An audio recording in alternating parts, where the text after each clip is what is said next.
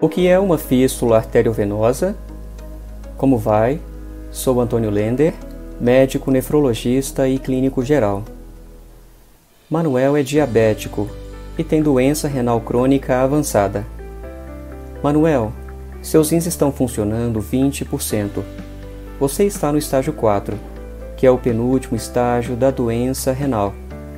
Você perde muita proteína na urina e sua perda está incontrolável a probabilidade é alta de você alcançar o estágio 5, que é o último estágio da doença renal.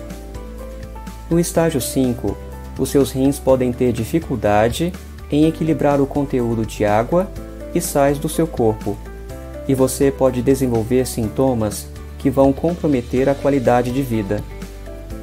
Prevendo esses desfechos, será preciso planejarmos o tratamento que vai substituir seus rins doentes no estágio 5.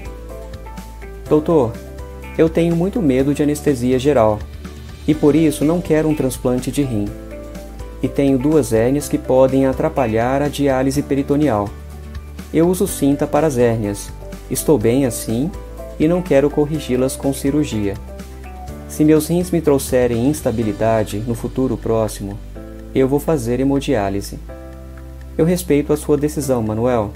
Então, para se fazer a hemodiálise, você vai precisar de uma ferramenta. E a ferramenta ideal é a criação de uma fístula arteriovenosa no braço, por meio de uma cirurgia, mas sem anestesia geral, ok? Por definição, fístula é uma conexão entre duas estruturas. Portanto, é uma conexão entre uma artéria e uma veia Artéria e veia são vasos sanguíneos. Artéria é um vaso que transporta o sangue do coração para a periferia do corpo, representada em vermelho. Já veia é vaso que devolve o sangue da periferia do corpo para o coração, representada em azul. A veia é mais superficial e menos calibrosa que a artéria.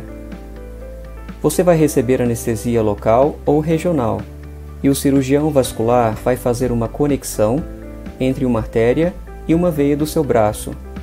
Tal conexão pode ser feita na região do punho, cotovelo ou do braço, a depender da qualidade dos seus vasos sanguíneos, que pode ser avaliada por meio de um ultrassom. Essa conexão, criada pelo cirurgião, permite que a veia seja alimentada pela artéria, e assim a veia fica mais calibrosa e facilitada para receber duas agulhas, que vão ganhar acesso ao seu sangue para a realização de hemodiálise.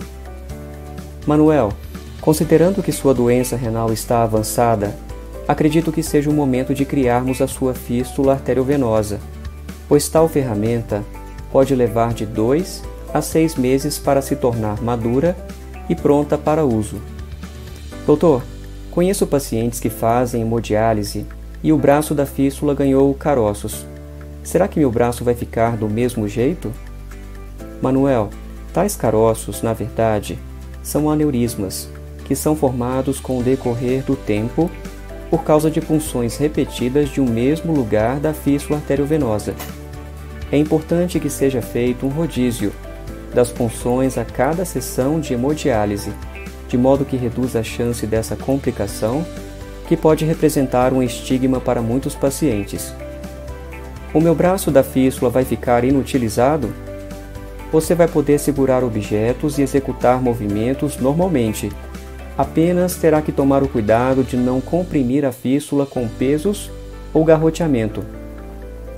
A percepção de frêmito, isto é, a sensação de uma vibração, percebida com os dedos da outra mão, no braço da fístula, é sinal de que a sua ferramenta está funcionante. Tal vibração é causada por um alto fluxo de sangue, cerca de meio litro de sangue por minuto, que passa por dentro da fístula. Ok, doutor, podemos marcar a cirurgia. Quero estar preparado para a hemodiálise da melhor maneira e com a ferramenta ideal. Não quero correr o risco de receber um catéter de duplo lumen no meu pescoço para realizar o tratamento. Agora que você conhece a melhor ferramenta para fazer hemodiálise, curta o vídeo e se você não é inscrito, clique no botão vermelho inscrever-se e acompanhe os próximos episódios do canal. Tenha um bom dia!